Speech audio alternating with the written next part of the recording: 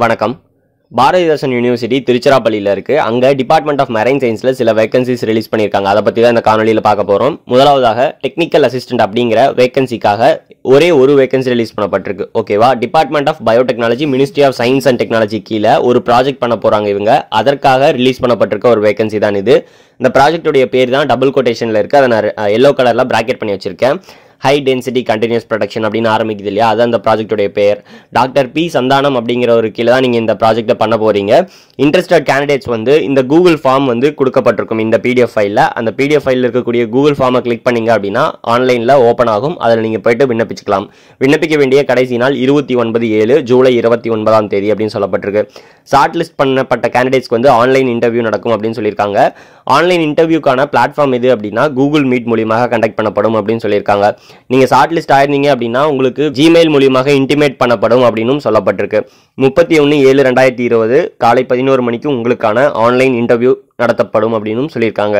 இந்த வேகன்சி பார்த்தீங்கன்னா purely temporary basis தான். எவ்வளோ வருஷத்துக்கு உங்களுக்கான டென்யூர் இருக்கும் அப்படின்னா ரெண்டு வருஷம் இருக்கும். அப்படின்னா இந்த ப்ராஜெக்ட் முடிகிற வரைக்கும் இருக்கும் அப்படின்னு சொல்லியிருக்காங்க. உங்களுடைய மாத ஊதியம் ஒன்பதாயிரத்தி எழுநூற்றி இருபது இருக்கும் அப்படின்னும் சொல்லப்பட்டிருக்கு. எசென்சியல் குவாலிஃபிகேஷன் என்ன கேட்டிருக்காங்கன்னா எம்எஸ்சி வந்து நீங்கள் மெரைன் சயின்ஸோ இல்லை மெரைன் பயாலஜியோ இல்லை கோஸ்டல் அக்வாகல்ச்சரோ இல்லை ஓசன் சயின்ஸ் அண்ட் டெக்னாலஜி அதே போல் marine biotechnology zoology animal biotechnology fishery science இந்த மாதிரி சில கோர்சஸ் முடிச்சிருந்தீங்க அப்படின்னா இதற்காக விண்ணப்பிக்கலாம். டிசைரபிள் அப்படின்னு சொல்லி கொடுத்துருப்பது என்னன்னா டிசைரபிள்னா இது இருந்தால் நல்லா இருக்கும் அப்படின்னு சொல்கிற விஷயம். ஒர்க்கிங் எக்ஸ்பீரியன்ஸ் வந்து லைஃப் ஃபீட்ஸ் கல்ச்சரில் இருந்தால் நல்லா இருக்கும் அப்படின்னு சொல்லியிருக்காங்க. ஆன்லைன் அப்ளிகேஷனுக்கான அந்த லிங்க் வந்து கொடுக்கப்பட்டிருக்கு இந்த பிடிஎஃப் ஃபைலில் அதன் மூலியமாக விண்ணப்பிச்சுக்கோங்க. ரெண்டாவது வேகன்சி ப்ராஜெக்ட் அசிஸ்டன்ட் இதற்காக மொத்தம் ரெண்டு வேகன்சி ரிலீஸ் பண்ணப்பட்டிருக்கு. இதுவும் ஒரு ப்ராஜெக்ட்டுக்காக தான் ரெக்ரூட் பண்ணுறாங்க அந்த ப்ராஜெக்ட் என்ன அப்படிங்கிறதான் டபுள் கொட்டேஷனில் இருக்குது பயோ அசே கைடட் ஐசோலேஷன் அப்படின்னு ஆரம்பிக்குது இல்லையா? அதான் இந்த ப்ராஜெக்ட்டுடைய பெயர். யாரு கீழே பண்ண போறீங்க அப்படின்னா ப்ரொஃபசர் பி பெருமாள் அப்படிங்கிற ஒரு கீழே தான் இந்த ப்ராஜெக்ட் பண்ண போறீங்க. உங்களுடைய கரிக்குலம் விட்டேவை வந்து அதோட கரிக்குலம் விட்டு அதோட சேர்த்து ஒரு பாஸ்போர்ட் சைஸ் ஃபோட்டோகிராஃபை இந்த மெயில் ஐடிக்கு அனுப்புறோம் அப்படின்னு சொல்லியிருக்காங்க. அதோட சேர்த்து நீங்கள் இதுக்கு முன்னாடி படி படிச்சு கொண்டிருந்தீங்க அப்படின்னா உங்களுடைய ஹெச்ஓடி கிட்ட இருந்து டெஸ்டிமோனிஸ் எல்லாம் வாங்கி கொடுக்கணும் அப்படின்னு சொல்லப்பட்டிருக்கு. அதே போல் நீங்கள் வேலை செஞ்சுட்டு இருந்தீங்கன்னா அங்கே இருந்து நீங்கள் உங்களுடைய சர்டிஃபிகேஷன்லாம் வாங்கி கொடுக்கணும் அப்படின்னு சொல்லப்பட்டிருக்கு. எக்ஸ்பீரியன்ஸ் சர்டிஃபிகேட் இந்த மாதிரி சில விஷயங்கள் சப்மிட் பண்ணணும் அப்படின்னு சொல்லியிருக்காங்க இந்த இமெயில் ஐடிக்கு அதாவது ஜூலை இருபத்தி ஏழாம் தேதிக்குள்ளே நீங்கள் வந்து இதற்காக விண்ணப்பிக்க வேண்டும் அப்படின்னு சொல்லப்பட்டிருக்கு. இமெயில் மூலியமாக தான் அப்ளை பண்ணணும் அப்படின்னு சொல்லியிருக்காங்க. நீங்கள் ஷார்ட் லிஸ்ட் ஆயிருந்தீங்க அப்படின்னா உங்களுக்கு இமெயில் மூலியமாக இன்டிமேட் பண்ணப்படும். அதன் பிறகு இன்டர்வியூ வந்து ஆன்லைனில் கண்டக்ட் பண்ணப்படும் அப்படின்னு சொல்லியிருக்காங்க.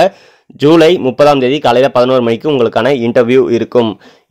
நீங்கள் ஷார்ட் லிஸ்ட் ஆயிருந்தால் மட்டும்தான் இன்டர்வியூ இருக்கும் அப்படிங்கிறதையும் தெரிஞ்சுக்கோங்க. பியூர்லி டெம்பரவரி பேசிஸில் தான் உங்களை ரெக்ரூட் பண்ண போகிறாங்க இதனுடைய டென்யூரும் ரெண்டு வருஷம் தான் சொல்லப்பட்டிருக்கு. அப்படி இல்லைனா இந்த ப்ராஜெக்ட் முடிகிற வரைக்கும் இருக்கும் அப்படின்னு சொல்லியிருக்காங்க. உங்களுடைய மாத ஊதியம் பத்தாயிரம் இருக்கும் அப்படின்னு சொல்லப்பட்டிருக்கு.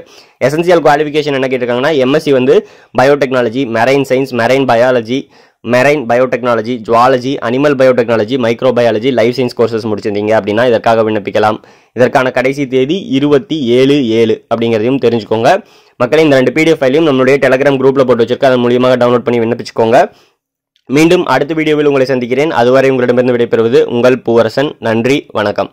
மாற்றம் ஒன்றே மாறாது. கண்டிப்பாக உங்களுக்கான பணி இந்த துறையில் காத்திருக்கு அப்படிங்கிற நம்பிக்கையில் விண்ணப்பிங்க.